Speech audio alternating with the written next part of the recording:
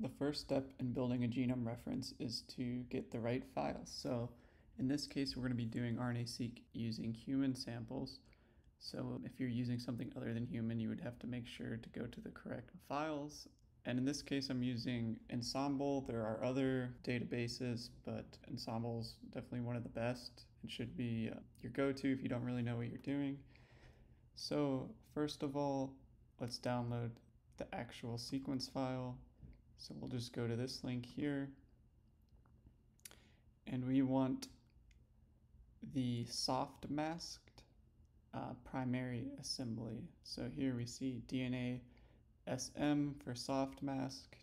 So there are multiple ways you could download this, but what I'm going to do is just copy the link address and then use wget on my Linux server and just paste the, um, the link in there.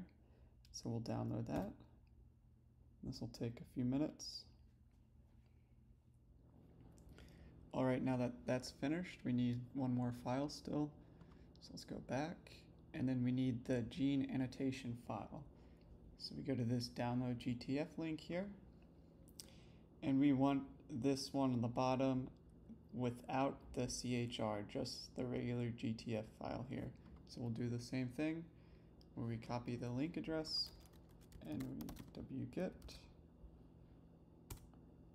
And this should be a little quicker this time. All right, so we're ready to start building the index file. Um, but first, if you don't have star already installed in your computer, I'm going to show you how to do it with Conda, which is by far probably the easiest way to install star and a lot of other bioinformatics programs. So you can just Google Conda install star and it'll come up with the Anaconda page here. So we can just copy this. Um, this does require you having an already installed Miniconda or Conda environment. Um, so just paste this in here.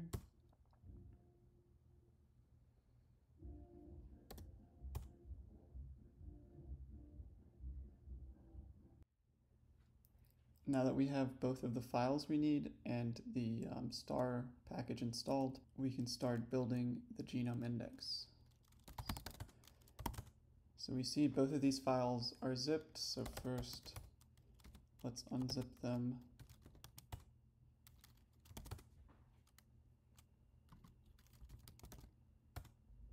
So star is going to make several output files, so let's make a new directory to keep everything organized.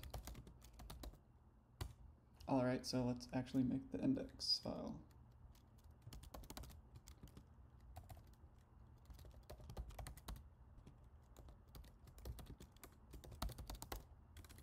genome generate.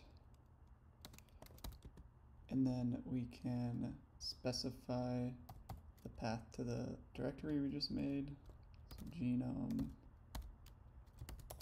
directory, and then the path is just ref. And then we can point to the files we downloaded. Genome, FASTA files, and then that's just the Sapiens DNA. And then the path to the annotation file.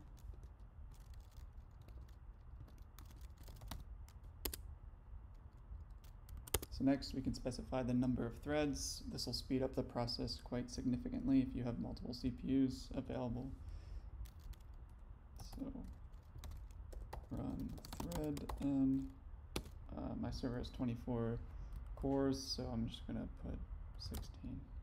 And these are the very basic options. If you want to get a little more advanced with your genome index, you can go online and look up the STAR manual. Oops, looks like I put a capital R in there. I'll just have to fix that. And it will start creating the, the genome files. And this will take um, maybe 30 minutes or so with 16 threads.